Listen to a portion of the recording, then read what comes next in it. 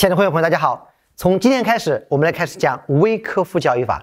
我们上一个系列主要是讲的根据道氏理论的那一套，就是在每个市场都通用的这一套价格行为模式和市场行为模式啊，就是用它的方法如何看待一个市场的规律。大家不要着急，用它再结合微科夫，我们才能构建交易系统。它等于说是一个价的一个维度。好，我们现在来看看成交量量的一个维度。啊，因为同一个价格，同一根 K 线，成交量不一样，它所代表的意义不一样。所以从今天开始，我们来进行微克夫交易法，也就是说量价分析方法。其实我们国内的很多书里面也有一些跟庄战法呀、量价战法，但是说句实在话，都没有微克夫讲的透。微克夫是真正的把这整套东西给你讲透了。嗯，好，我们一起来。首先呢，呃，我以前公开课也给大家讲过了，威克夫的一个生平，他的一些历史，这边不就介绍了。总之呢，他就是华尔街将近一百多年前啊，刚开始的时候啊，威克夫先生他通过观察这个股票的盘口，就是它的成交记录，来发现的一些股票的规律。那么它的成交记录当时是一个纸袋，就是一个。一个报价机报价完，它是怎么报价的呢？比如说十二点二十五的时候，CT 银行、花旗银行，哎，它的价格是三块八，有一个人买了一万两千股 CT 银行的这个股票，就这么一个报价条。然后一会儿十二点三十，又有一个人买了，他是以三块九的价格买，而且是以五万七千手的价格买。嘿，那么他就通过这种报价单一个一个的去分析记录。然后呢，就总结出了一套办法啊，所以呢，这套办法实际上最原始的叫 type reading，就是叫盘口阅读、盘口解读。那么当年威克夫先生他的所谓的这套方法就是通过盘口解读来的。哎，这就是我想说的。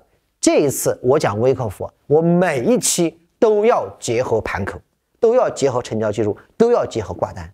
因为如果你不结合，说句真心话，你根本不知道它的根本从哪里哪里来的。那么我们现在一结合，你们看，你们的感觉绝对不一样啊！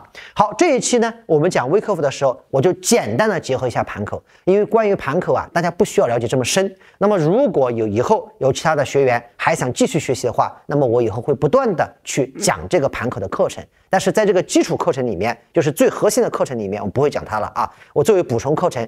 过一两个月吧，以后我再放在我的会员里面，或会员网站上里面。这第一次放的时候就不放了。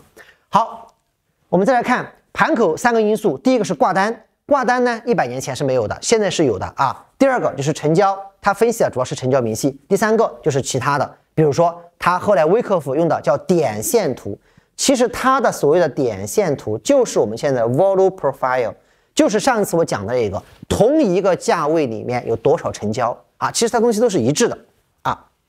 好，就是通过阅读这个成交记录，那么和它的这个数量、成交量，威克夫先生呢就发现了量价背后的真正的意图。那么他就总结了量价，我们来观察，主要是观察这几个。第一个就是供求，就是你不管基本面怎么样，也不管图形怎么样，它到最后能够拉动它价格的还是。供给与需求是吧？供应与需求，那么能拉动它的供应与需求。哎，我来给大家举个例子。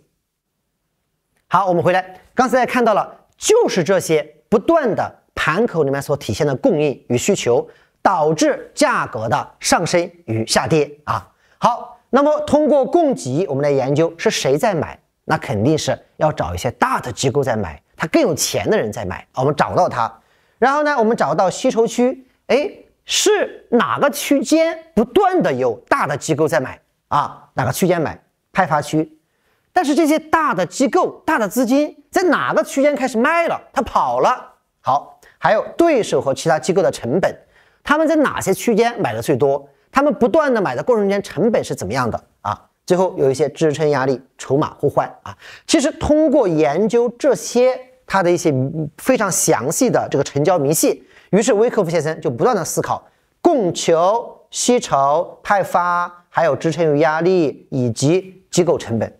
好，最后他就总结了什么呀？第一个，威克夫的三大法则啊，我们等会儿再详细讲。我就这个提一下，第一个就是供求原则，就无论你基本面怎么样，无论你的财务指标怎么样，无论你外界消息面，总之反映到最后就是供求，一定是就是供给与需求啊，供应与需求。好，那么我们等会儿详细看啊。第二个就是因果啊，因果就是一定有一个因才会有一个果啊。就如果前面没有一个吸筹区，后面就没有一个爆发区啊。但是，请大家一定要注意啊，维克夫这个观点，我们可以说是部分正确，也可以说不部分正确。为什么呢？因为他这种说法的话，就会让你认为所有的股票都必须要有吸筹区，就必须要有吸筹区，然后拉升爆发。其实有时候不一定，有就是微信反转，啪，直接微信反转了。那么它也当然有因果，它的因呢，就是这个左边这个跌的太厉害了，把所有的这个人就跌绝望了。跌到最后叫什么？卖无可卖了，就是市场上所有想卖的人全部卖掉了。那么这个时候，它这个因啊，一下子就上来了。它的果呢，就是因为全部卖无可卖了，所以就微信反转了啊。所以有些东西还要不是说所有的一定要有个吸筹区才会上涨啊，大家要注意啊。有些时候卖单衰竭也会上涨啊。